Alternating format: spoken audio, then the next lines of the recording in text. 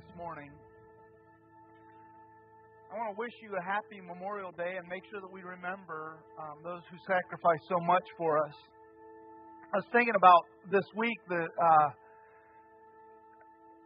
Arlington Cemetery. Um, was one of my favorite places to go when we visit DC to watch the changing of the guard, and I was privileged to do a funeral there one time. And it's just a special place. Um, and I was thinking about it because when we go to Arlington Cemetery, we look at, we watch the changing of the guard. And this morning, we're talking about the changing of the guard. We're talking about when, when Moses is coming to the end of his life and Joshua is going to begin. And, um, and I think it's important that we remember those that sacrificed everything to give us the freedoms that we have. Um, I think it's important that tomorrow, when you celebrate Memorial Day, yes, we're going to eat hot dogs and hamburgers and all that stuff, but remember what it's about, and um, and just uh, be thankful for those who sacrifice so much. Today, we're continuing our study in the book of Numbers, and this morning is uh, a very interesting passage of Scripture. Moses is literally God's going to tell him, Moses, you're going to go on this mountain, and then you're going to come down, and Moses, you're going to die. Um, I hope God doesn't do that with me. I hope He just surprises me one day. I hope the my prayer is that the rapture comes and I go out like Elijah. You know, we'll just go up and go up like that. But if not, I don't want to know about it. So I don't want to have a uh, an idea of when it's coming. But this morning was a, uh, this morning's been interesting. Nita is in Virginia visiting her mom, and I am an early morning person, so I wake up at four o'clock every morning. It's just I, if I stay up till midnight, I'm to wake up at four o'clock in the morning. It's just my schedule.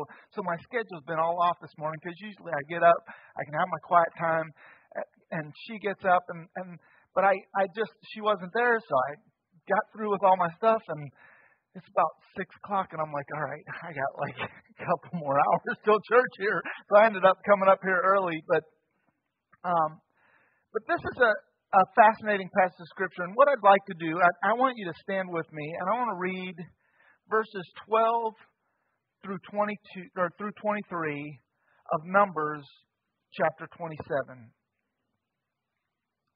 It says, Then the Lord said to Moses, Go up this mountain of Abarim range and see the land that I have given the Israelites. After you have seen it, you will also be gathered to your people as Aaron your brother was. When the community uh, quarreled in the wilderness of Zin, both of both of you rebelled against my command to show my holiness in the sight of the waters. Those were the waters of Meribah of Kadesh in the wilderness of Zin. So Moses appealed to the Lord.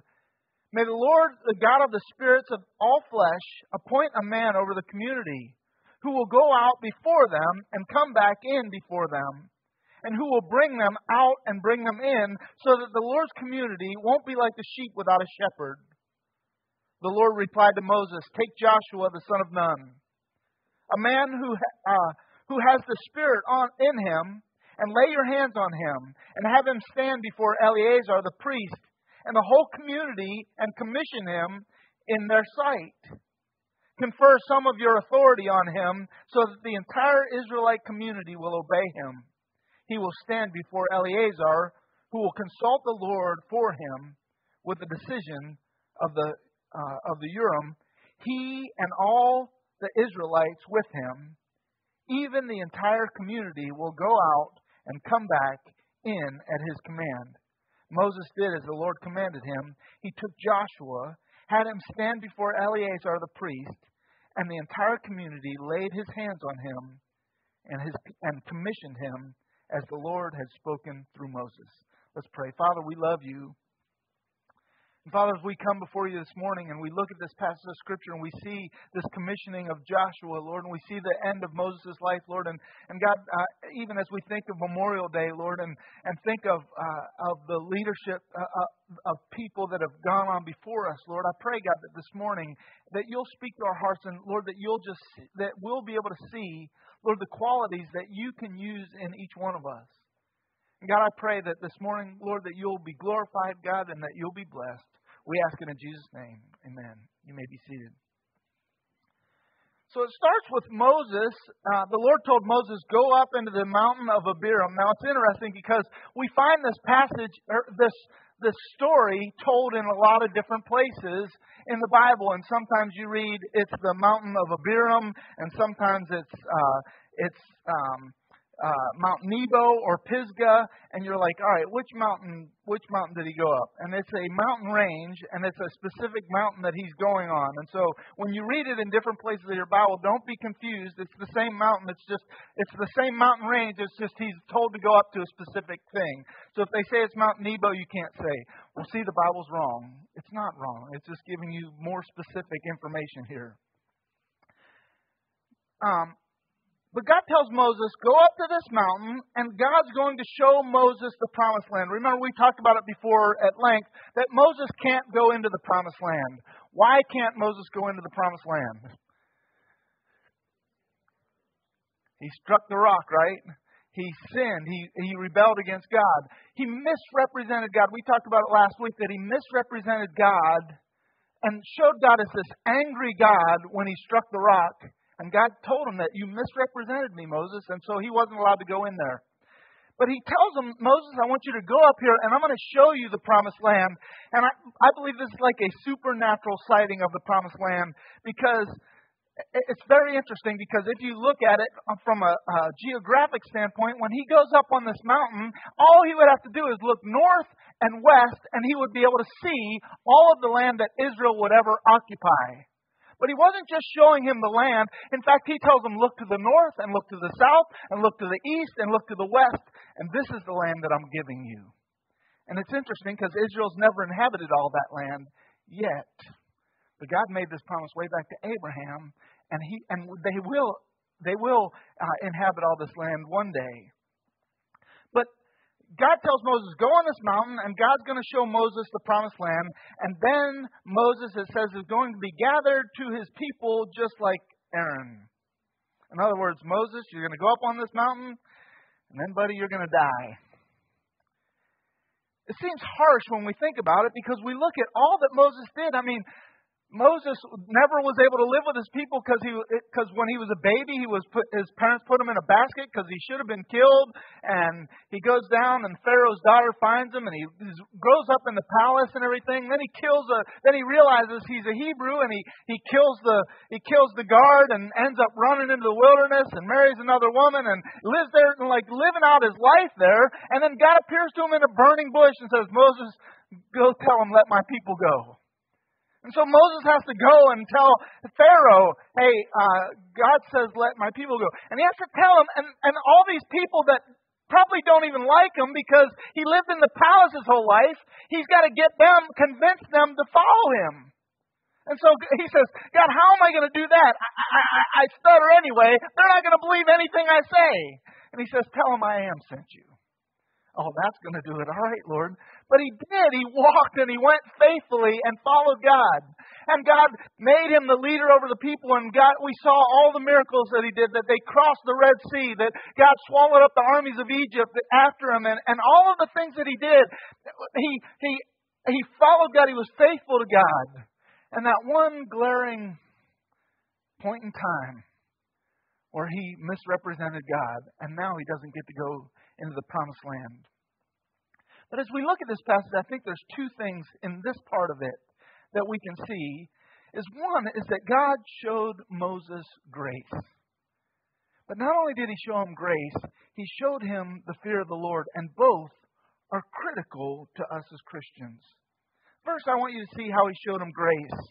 God gave Moses this supernatural vision of the land. Why do I say that? He showed it to him here in chapter 27, but both in chapter 32 and 34 as well. He talks about it in Deuteronomy 3:27 as he receives the same vision that Abraham received. In fact, it says, "There go up to the top of Pisgah and lift your eyes westward and northward and southward and eastward and look at it with your eyes, for you shall not go over this Jordan. When he looks at the land standing on Abarim, he would only have to look northwest to see all of Israel, but God said, look at all of it. It's exactly what God showed Abraham in Genesis 13, 14, and it affirms to Moses, the next generational leader. It affirms to him that God is faithful in his promise. God was going to be faithful to his promise. He shows them exactly the same thing that, that Abraham saw.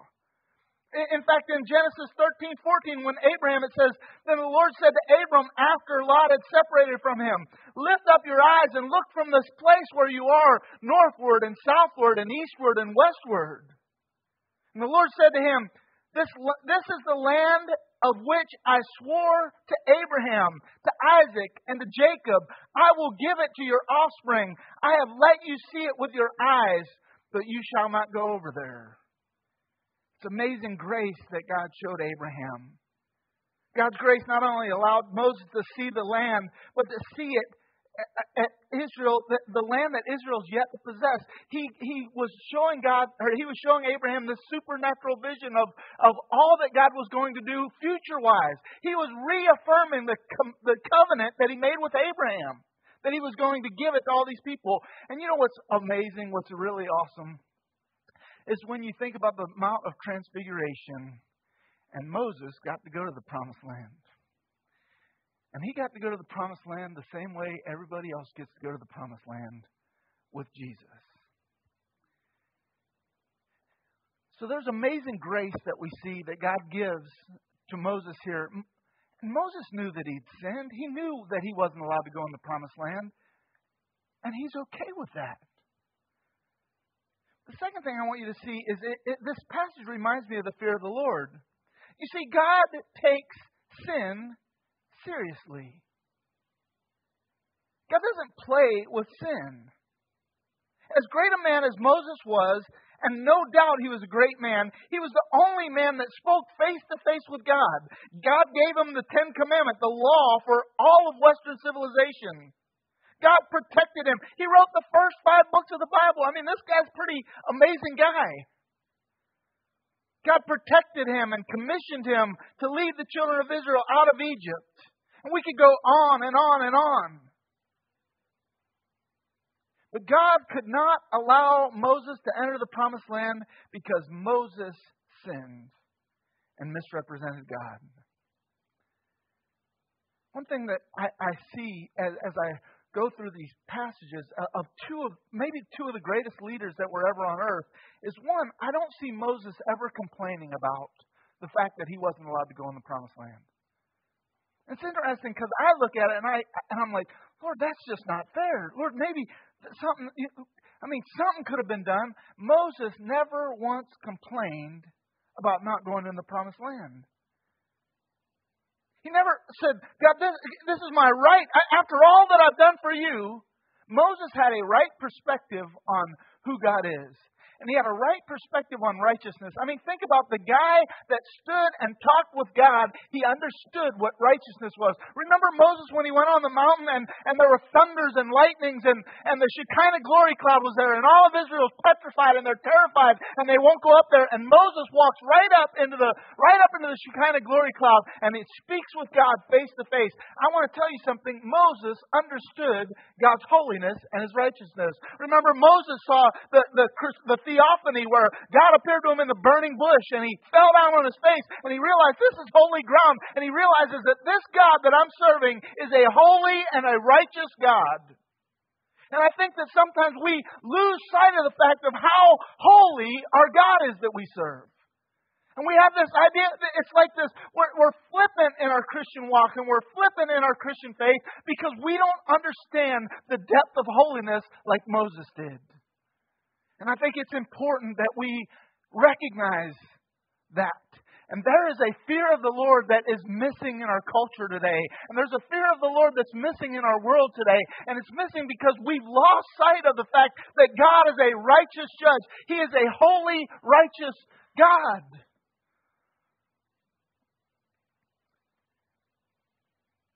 See, Moses knew God and he understood the consequences of sin. Today, everyone else is to blame. Everyone other than the sinner. We, we transfer the blame on everybody. I, this week was horrible. We had a shooting in another school, and it just, it breaks your heart, and you just, And I, I, I just turned the TV off this week because I turned it on for about five minutes, and they're blaming the police, and they're blaming this person, they're blaming that person. I'm thinking, what about the guy that pulled the trigger? We, we blame everybody but me. We, I mean, we have a president that stands up there and he blames everybody, but where the blame lays. Let's just give, we'll blame everybody but where it lays. And, and he's not the only one. I mean, it goes on and on and on, and everyone's transferring the blame. And they're playing the game and they're hiding the shame.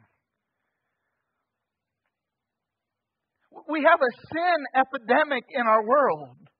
We, we blame people, we, we blame the pharmaceutical companies for people doing drugs or the alcohol companies for making alcohol. Listen, the, the blame lies squarely on the person who does it.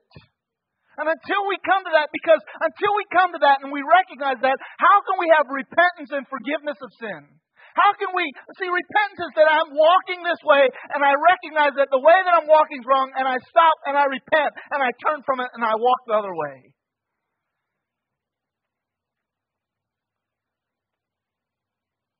And Moses understood that. And why didn't Moses complain about not being able to go to the promised land? Because Moses knew that it was his sin that kept him there. It's really interesting because the next verse, we see Moses appeal to the Lord. And, and as soon as you read it, you think, oh man, Moses is going to appeal to God and say, God, let me in the promised land. No. You talk about leadership. Here's a leader. Verses 15 and 17, it says, Moses spake to the Lord, saying, Let the Lord, the God of the spirits of all flesh, appoint a man over the congregation who shall go out before them and come in before them, who shall lead them out and bring them in, that the congregation of the Lord may not be, be as sheep that have no shepherd. You know what? Moses wasn't worried about his fate. Moses said, Hey, God, I'll come down off the mountain, I'll die. Hallelujah, I'll be with you. He wasn't, God, that's fair. I did this and I did this, and God, you got to give it to me. No, Moses said, Hey, God, what about your people? God, they're going to need a leader. I'm concerned about your people. And how many times have we seen Moses in this book of Numbers intercede for the people? How many times was God about to wipe them out? And Moses interceded, and Aaron interceded. You remember he he sent Aaron with the uh, with the uh, I forget what it's called, where he's shaking the stuff, the, the incense. He's burning the incense and he's running and shaking it over all the people. Why? So they wouldn't die. Why? Because Moses was concerned about the people. That's what a leader does. A leader is concerned more about the people than he is with his own health and with his own welfare. Talk about leadership traits. This verse starts with Moses spoke to the Lord saying, uh, the Holman Christian Standard says it better, I think. It says, it says, Moses appealed to the Lord saying. He's making an appeal to the Lord. His appeal is for the people. And so many in leadership today, or so few in leadership today, want what's best for the people. It's all about getting reelected. It's all about getting what, what's mine. It's all about keeping my power. It's all about everything but the people. I, I think about it on Memorial Day because we are supposed to be a government of the people and by the people and for the people.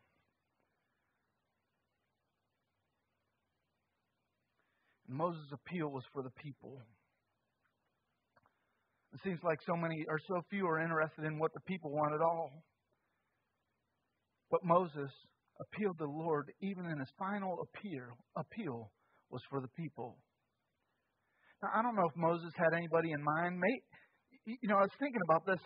Here's Moses, and he's about to, he's saying, God, we need, they need a leader. They need somebody that can take them in or out. And I mean, just a few chapters ago, we read about this guy, Phineas. I mean, Phineas shish kebab, the couple that was in, in, in sin. And I mean, man, he's the man of the hour. Everybody, I mean, you talk about a, a popular pick, somebody that can win the election. You know, here's the guy that can win the election. I mean, he's popular. He's at the height of his, his career. You know, um, the people would be on board with it. He'd be a popular pick. But God wasn't looking for Phineas. And I, I think sometimes in our world today, we're all we're looking for this Phineas. We're looking for the guy who's the man of the hour, who's the man right now, and who's the man that can, you know, that can stir it up and, and you know, the, the guy that's the natural born leader. But you know, God wasn't concerned with what the people wanted. God wanted people that would serve him you know, there are a lot of churches that are building large congregations by giving people what they want. And you can make a lot of friends by appealing to people. But you can't do God's will by appealing to people. God knows what they need. God knows exactly what the people need. You know, we, we live in a world today where it's like there's this formula. You want to build you want to build a big church, you know, then you ease up on sin. Because you know, if you you know if you if you're hard on sin, people don't like it. They don't leave church with all these warm fuzzies. Well, that's not what God said. That's not what God wants. You know, if you want a, you want to build a big church, you got to have you got to have a big band with the right the right music and the right people there. Because if not, you know, the people aren't going to like it and they're, and they're not going to want to come. That's not, I can't find that anywhere in Scripture. Listen, I believe that we ought to do the best. We ought to put our best foot forward. We ought to put. We ought to make everything we do the best that we possibly can. But sometimes we're chasing after the wrong things. And we, we're looking for this guy, Phineas, that's going to be, you know, he's going to be the rock star and he's going to be the guy that everybody's going to look up to and everybody's going to go, ooh, he, he's so flowery with his words. And I get tingles every time I hear him speak. Was it? I can't remember who the guy was that said when Obama spoke, he got chills down his leg.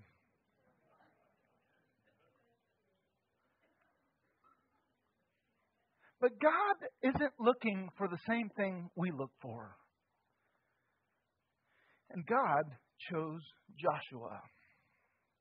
Now, I'm just going to be straight up with you. Growing up, I thought Joshua was like, I thought Joshua was like, you know, the cool kid on campus. You know, he was the guy that was going to be the first pick. He was the leader of everybody. I mean, he was the guy that everybody looked up to. He was this natural born leader that everyone was going to rally around and like, you know, he was just he was just ready to go and it was just going to be this smooth transition. But when I study scripture, I don't see that at all. In fact, look at look at what it says here. Verses 18 to 22. It says, So the Lord said to Moses, Take Joshua, the son of Nun. He was Catholic. Come on, lighten up. That was funny. Take Joshua, the son of Nun, a man whom is the Spirit, and lay your hands on him. And make him stand before Eleazar the priest and all the congregation, and you shall commission him in their sight. Why does he want to commission them in their sight? Because he wants them to know, because no one's looking for Joshua. Let me tell you something.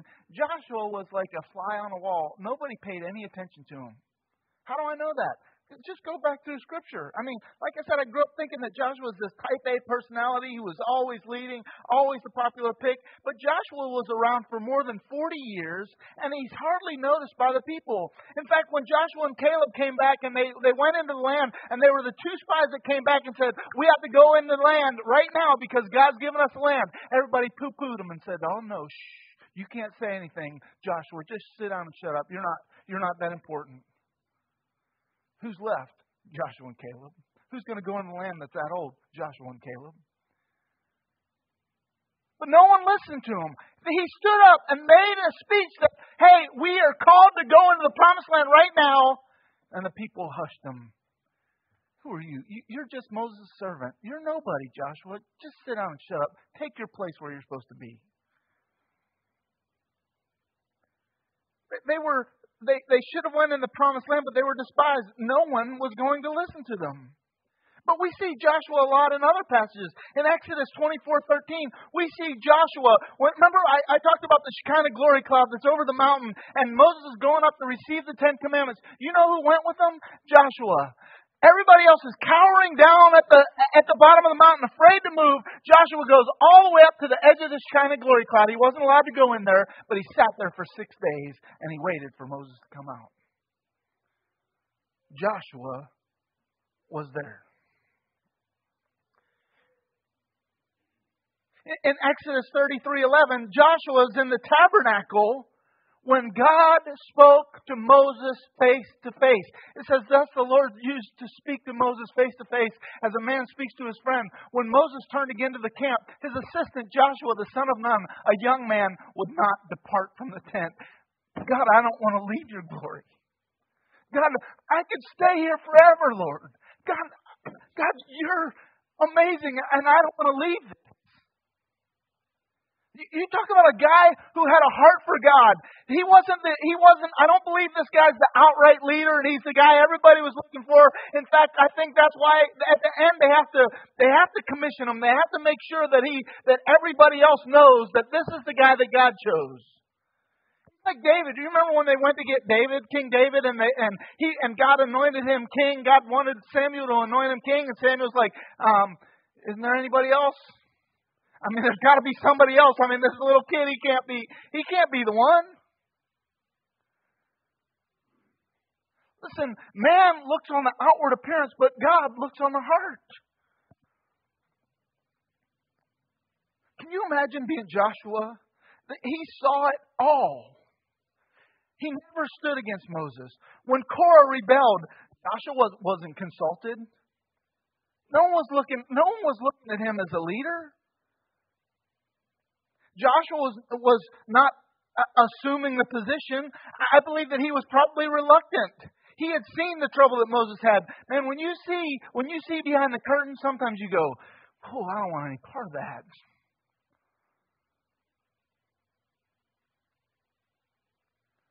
Deuteronomy 128, way back at the beginning, the Lord said to Moses, Joshua, the son of Nun, who attends you, will enter it. He's going to be the one to enter the promised land. Encourage him, for he will enable Israel to inherit it. Joshua was an attendant for Moses, not a big time job. He was his servant. But God told Moses that Joshua was going to lead the children of Israel into the promised land. It's interesting to me that Moses, as great a leader as he was, couldn't bring the people into the promised land. Why? He sinned, yes. But everybody else had sinned too. All have sinned, come short of the glory of God. But I think there's there's so many symbols in this book that just I wish I could spend more time going through them. But do you remember how the children of Israel how they would line up and they would line up in the shape of a cross. Every time they moved, they would move in the shape of a cross. As people, if like when uh, when they were up on the mountain looking down at them, they saw the shape of the cross that's marching through the desert. It's fascinating. I, just how I wonder when they recognized that Jesus died on the cross, they had to be going. but you know what Moses represents all throughout the Scripture? The law. The law. You know that the law can never save you. All the law can do is condemn you. And Moses is the representative of the law, and he can't go into the promised land. I don't think that's by accident either. You talk about symbolic. But here comes Joshua. You know what Joshua translates to? Literally, Jesus. He's a type of Christ in the Old Testament. And the law could never get you there. Only Jesus can get you to the promised land.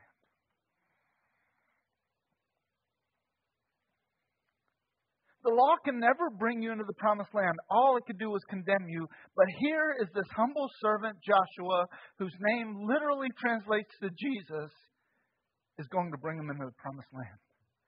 The symbolism of this book's amazing. It's just, it's not by accident when you read it, and it's over and over and over again. We can't be saved by the law. And there's some people, there are a lot of people in this world today who are trying to earn their way to heaven. They think if I can be good enough, if I can be, if I can accomplish this, if I can do this, if I can just, you know, I'll I'll say my prayers and I'll go to church and I'll I'll be kind to people and I'll be generous to people. Let me tell you something. All that does is condemn you. The Bible says that my righteousness is as filthy rags. The very best things I can do are as filthy rags. I won't even tell you what that literally translates to.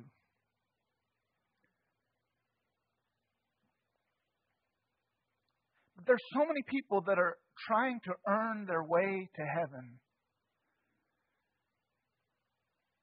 That's coming to God by the law, and you can't get there because all the law can ever do is condemn you. Why? Because if you've broken one part of the law, you're guilty of all. One jot or tittle, he says. If you've broken one part of it, you're guilty of all of it.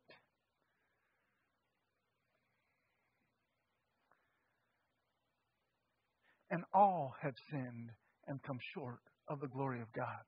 In other words, all the best things you can do, it's not going to get you there. In Romans, he says, There's none righteous, no, not one. There's none that understands. There's none that seeks after God all the best things you do, it's just worthless.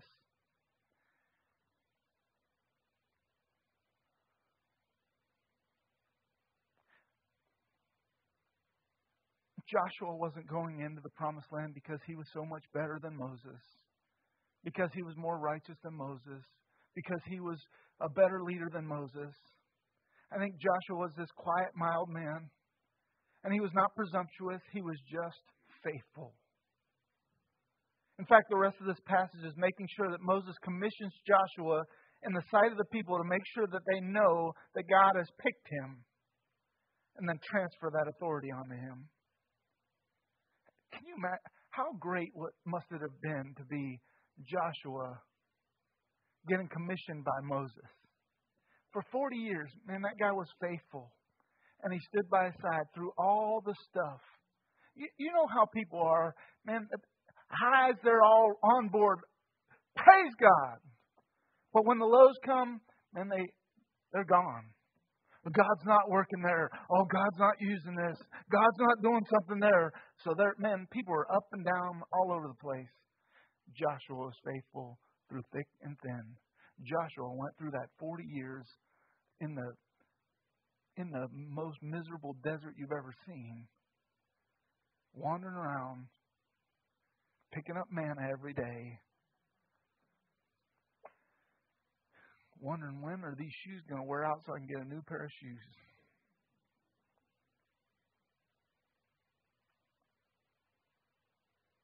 But here's Moses and God commissioning him to be the man that takes them into the promised land. Why? Because he represents Jesus Christ. Why? Because by faith, he said, let's go in and conquer those giants. Because if God's for us, who can be against us? Let's obey God. Let's just step up and follow God. Oh, we can't listen to you. You don't know anything, Joshua. And now here he is standing before all the people, getting ready to take them into the promised land. I love the first thing that he does when he goes into the promised land is they march around. Well, first, he has all the men be circumcised, a, a symbol of purity, of let's get right with God first. And then they go into the promised land. They march around this walled city of Jericho. And then uh, quietly, they can't say anything. And then the last day, they're blowing trumpets and the walls come tumbling down. I think then they're ready to follow him.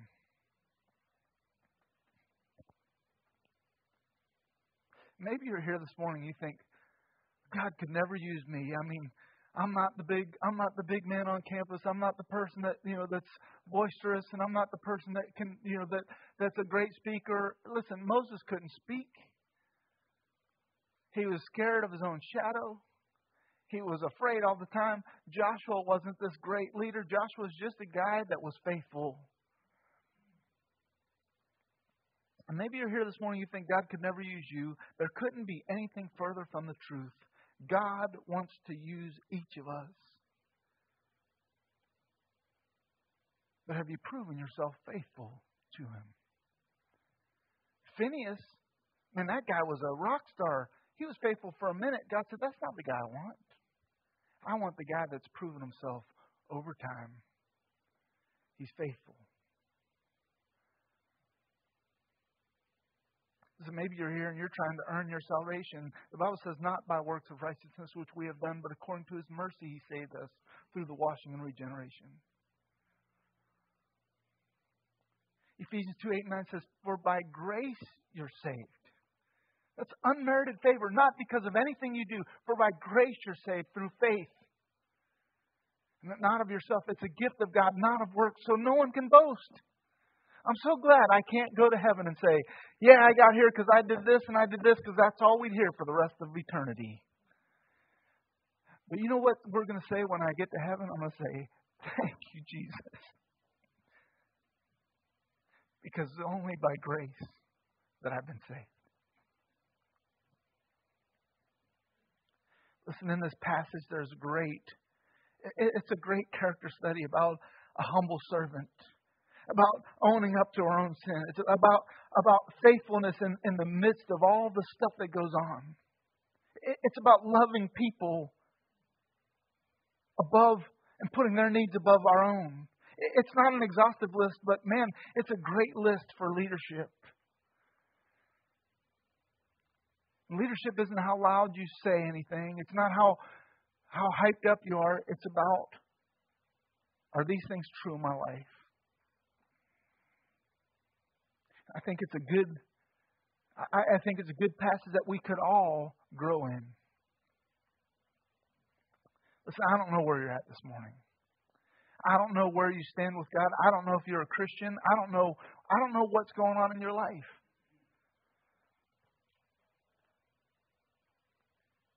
I, maybe you're, you're wondering, can God ever use me? Listen to me. God wants to use you. I, want to turn one passage before I close this morning.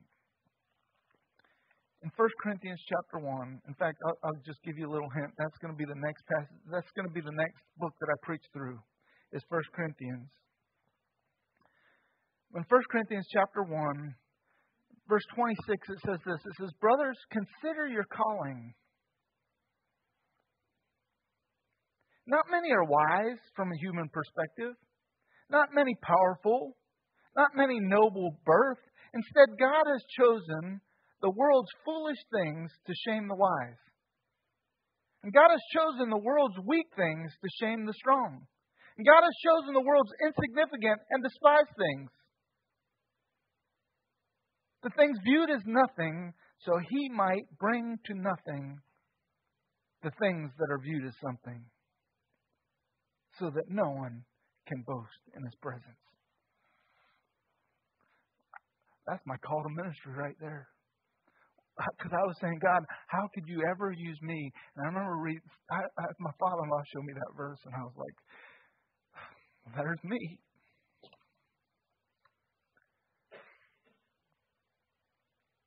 Church, I don't know where you're at this morning.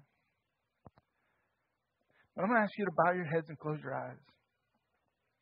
And first, I want to ask you maybe you're here this morning and, and I don't know what your situation is, but maybe you've been trying to earn your way to heaven. I just want you to know you can't do it. You can't do enough good works. You can't do enough good deeds. It's not if your good outweighs your bad. You can't do it because you are guilty of all. If you're guilty of one thing, you're guilty of all of it. And you're condemned already. But God, who's rich in His great love wherewith He loved us, offered us grace and mercy. He sent His one and only Son to die in my place, to pay the penalty for my sin so that I could be counted as not guilty. Not because I'm such a good guy, not because I'm a pastor, not because I do so many good things. That has nothing to do with it. It's by grace I've been saved through faith the result of my the result of my salvation ought to be I want to serve Christ with everything that I have.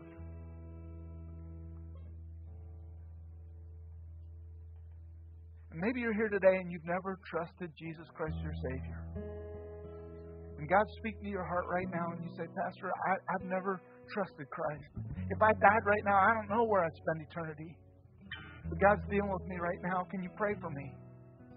If that's your prayer this morning, you say, Pastor, if I died, I don't know where I'd spend eternity, but can you pray for me because I need, I need salvation. If that's your prayer this morning, will you slip up your hand quickly? Maybe you're here today and you're saying, and, and you're saying, God, my life's such a mess. How could God ever use me? How can God ever use you? God wants to use you. He wants to do exceedingly abundantly more than you can ask or think. As you're sitting there thinking, well, man, I've done this or I've done that, listen to me. Are you forgiven or aren't you? Paul was a murderer, and God used him to write three quarters of the New Testament. Why? Because when Paul got saved, he wasn't a murderer anymore. God transformed his life. And maybe you're here this morning, you're wondering, God, how can you use me? Lord, I'm too old, I'm too, I'm too fat, I'm too, I'm too, I don't, whatever your too is. Listen to me, God wants to use you. And it starts by being faithful share with you my plate theory before. I think you start, you're faithful in the little things. Faithful to read my Bible, and faithful to come to church, and faithful to pray every day, and to do the little things. Faithful to memorize Scripture. And as you're faithful in those things, God gives you more on your plate. And I think we see that perfectly with Joshua. Joshua was faithful for 40 years, and now God made him the leader that's going to walk the people, walk the children of Israel into the promised land. What's God going to do with you? We'll never know if you're not faithful. So maybe God's dealing with you this morning about your faithfulness, and you say, God, I want you to use me. Lord, I don't know how everything's going to work out. I don't know what's going to happen in my life. Listen, I don't either. But He does. Maybe God's dealing with you this morning about faithfulness If, that if, if God's dealing with you and you say, Pastor, can you pray for me? Because I need, the Lord's dealing with me about something about my faithfulness or what God wants to do with me. But I need to be faithful. Can you pray for me? If that's your prayer, would you slip up your hand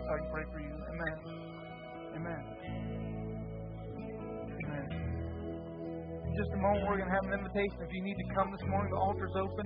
It's not for anybody to gawk at you or anybody. To, it's for us to come alongside you and pray with you. Let's stand for prayer. Father, we come before you today, and I thank you, Lord, for the hands that were raised. I thank you for the hearts that, God, that you're dealing with. God, I pray, Lord, that as we, uh, Lord, as we walk by faith, not by sight, Lord, it's so, it's so hard to let go and get out of our way, Lord, and just let you do things, Lord. But we, Lord, we can trust you, God, because you love us. So, Lord, as we uh, Lord, as we have this invitation, God, I pray that you'll continue to work in hearts, Lord. If people need to come to an altar, Lord, I pray that they come, Lord, that they can have people that will come and pray with them. Lord, because all of us have fallen short, and all of us need more faith, and all of us need to be more faithful. God, I just pray that you'll have your will and your way with this invitation. I ask it in Jesus' name.